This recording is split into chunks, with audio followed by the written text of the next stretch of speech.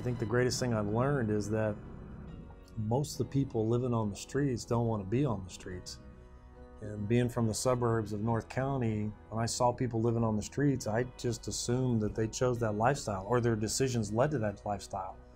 And having been here now a little while, I'm starting to realize that these are just men and women like you and me whose stories aren't that much different than ours.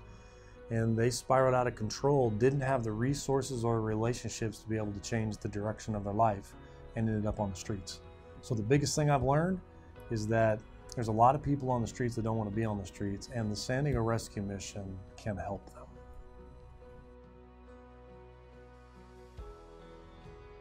I'm excited about the culture. I'm inspired by the staff. I continue to be amazed at the men and women that God has brought us. They do this because there's a calling on their life for this. It's not the pay, it's not the hours. They do it because they want their life to matter, they want their life to count, and they want to make a difference. And so within that is a culture, a staff culture. And what I'm excited about is I've sensed that that's changing a little bit, that we're becoming a team, not separate programs, not separate departments, that we're becoming one mission, one team. And I love that. I don't think we can do this and have the impact that God wants us to have if we don't work together. It's too demanding, it's too complicated, it's too volatile. And I just sense a desire to want to go someplace big. And I'm excited about being a part of it. is this the life you really want to live? Because I don't believe it's the life that, that God has set out for you to live. I think He has more for you than that. Um, I don't know what happened to you. I'd like to know your story. And if you'll come to the San Diego Rescue Mission, we believe that we can help you. And you can get off the streets. You don't have to live on the streets. You don't have to wonder where you're going to be tomorrow and are your kids safe and how are you going to eat. And we can actually walk you through a program that will change your life. This is a new initiative within the last couple of months, and we're excited about training our donors and our volunteers to help us engage those that are living on the streets. ICU just simply means that as a donor, as a volunteer, as an organization, I'm not going to walk past you anymore. There's this bag is full of things that will help you, and there's information about an organization that will help you. And so we're training our donors and our volunteers to use this to allow us to be a little more proactive at engaging people living on the streets.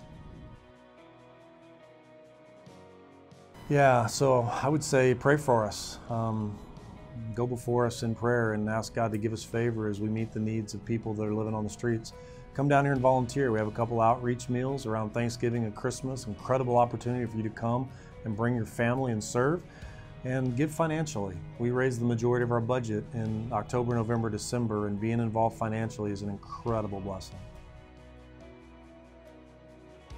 I have. I watch uh, probably too much football, my wife would tell you. I typically watch the good games on Saturday that are in college and then spend most of my time watching the NFL on Sunday. Well, I'd have to say the Saints for sure would be my pick to win the Super Bowl. I'm um, not quite sure who they'll play, but I feel like that side of the NFL uh, has, uh, really, is really playing well, and I like what Drew Brees is doing, former San Diego Charger uh, and I'd like to really see him win another Super Bowl. I love the Thanksgiving, Christmas holidays, a chance to spend some time with family. My daughter's coming home in a couple of weeks and she'll be here for about a month before she goes back to school. Really looking forward to seeing her. Uh, also, my son's in uh, Spain playing basketball, so get to watch him play and get to talk to him from time to time, but uh, just looking forward to staying in touch with his progress and then just uh, celebrating what Christ did for us uh, and just how he was born in a manger and lived a life and uh, communicated truth and died on a cross for our sins that we might have life. And I love the Christmas season to be able to celebrate his birth. Yeah, I just want to say Merry Christmas and Happy Holidays these last few months. Thanks for the role that you play at the San Diego Rescue Mission. We couldn't do what we do without you. I really feel like this is one of the great team projects in life. And as we work together, staff and donors and churches and volunteers, I really believe we can change the state of homelessness in San Diego. And I want to thank you for being a part of it. So, Merry Christmas.